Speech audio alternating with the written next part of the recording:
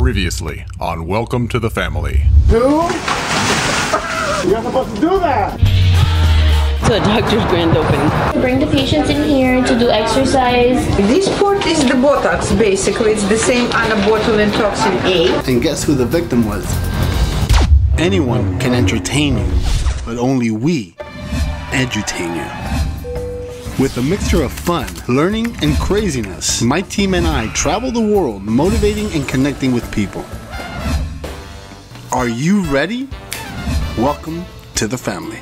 How many units of Dysport would you use on him? Well, it depends which area he wants to do. Shoulder. The whole face. The whole thing. Okay, and what you're trying to achieve, just smoothing the wrinkles, which you don't practically have. You have very few. Yes, the all dynamic wrinkles. That's the one that can be removed with botulinum toxin. Okay, thank you, and relax. Yes, It was painful. You could feel the needle going in, and you feel like a liquid, like. It was weird. He doesn't have any lines on the top, so basically prophylactically, I'm gonna give him one unit in this side, one unit in this side. But like one or two of the shots were like painful. We have to stay outside the area You see the difference? Not really. Well, she says it would take three days and I look a lot younger. So by the time you're watching this and you see me again, I'll be 25. always at these events, there's one main thing that I love. You know, meeting new people is great, but the food. Come on. Come on. I love meeting new food. So they had this uh, raffle going on when you first signed up, and guess what? We didn't just win one; we won two raffles. Apparently, LJ and Bert both won the raffle. I won Botox, guys.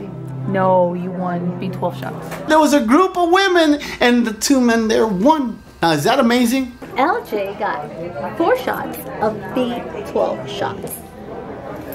All right, I'm not hyper enough. I'm gonna take it away from LJ because he doesn't need it. He's 22 years old. Mr. Bert over here won the six sessions of laser hair. Small area, has to be a small area. Six. Because I like her.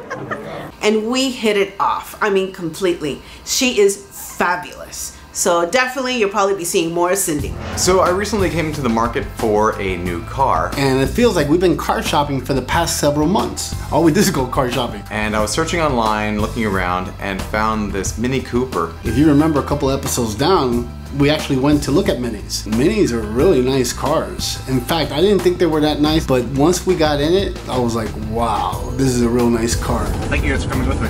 Ah, yeah. I'm mellow. No, you're excited. I'm excited. The inside. Cautiously excited. The only one little snag was the fact that it was a stick shift, which I don't know how to drive. I wish I could test drive. Well, we are. yeah, I know. It's just gonna be funny. Hi, I'm gonna be the one that's buying, but I can't drive it. Because I'm rich like that. so Eric is very frugal, for the lack of better words, and he had a budget. And because he's that organized and that anal retentive, we had to make sure that we stay within budget. Look at these classics, man. Yeah.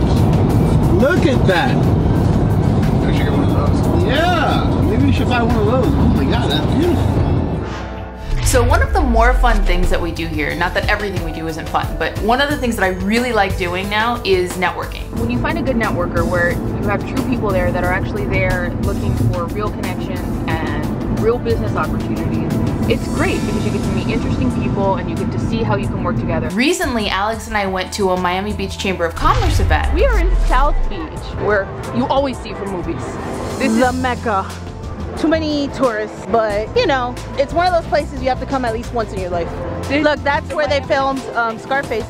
Mercedes, Mercedes, Mercedes. Mercedes. we're looking for a BMW. We went to a Mercedes dealership, and if you've ever been to one, they're really, really, really nice. Whatever you want to drink, whatever you want to eat, you know, of course, you're planning to buy an expensive car, so they got to treat you different. Test drive for the Mini Cooper. Sure, your name please? Eric Munter. Look at your little smile. I see you. It was definitely the fish out of the water. There we go. Oh, nice. Sounds good. it didn't feel right, but I could see how it could possibly grow on me. Oh, it's that easy. Wow, sounds I like it. Yeah. But I want it to be your choice. Yeah, I like it. Look, it has a backup. I think these are the sensors. Ah, cool. It was strange not being able to test drive the car I was interested in buying. The first time in my life ever have I seen someone take a test drive in the passenger seat. I don't know what it is. I can't put my finger on it, but it's not. I don't know. Price obviously is a little. I just, if I can get it down a little bit more, but price is great though. Yeah, price is great. After the test drive, I was still on the fence about it. I wasn't completely sold. I guess the the big thing that was sort of holding me back was it was a convertible, which I know a lot of people you're probably thinking, well, what's wrong with that? That's great. I, I, I don't know. It didn't feel safe at first to me, so that was sort of holding me back a little bit. Of course, the number one factor was the fact that it was stick shift, and really wasn't all that interested in learning how to drive a manual car. No, I'm just thinking But about that's it. the way. It's it's the same thing Valerie went through. It's buyer's remorse. You finally get it, and you're like, Yeah. I'm not sure. Yeah. So, can you call and schedule right now? Yeah, let me see. Oh, we can just drop by. We can drop by. Where is it at? Let me see. We're gonna try to look at another car, another different dealer. So it's just a matter of what's not selling you in the car. I think that might be it. That's it. Well, that and the, the back fear seat? of the no, well, the back seat's kind of. I'm not gonna be sitting back there. That is annoying, but Well, at 35 miles a gallon, it's not that annoying. yeah, that is nice. Eric had a list of different dealerships he wanted to go to.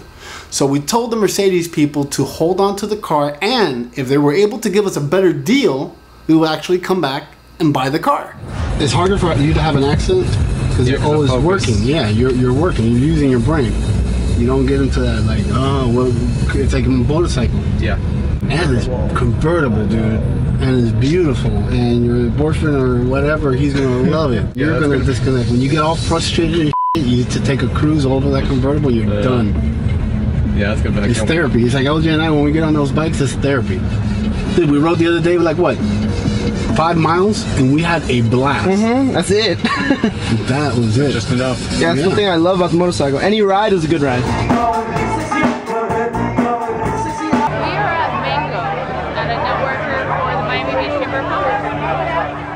Was so much fun that we saw this this man just having the time of his life out on the dance floor. We're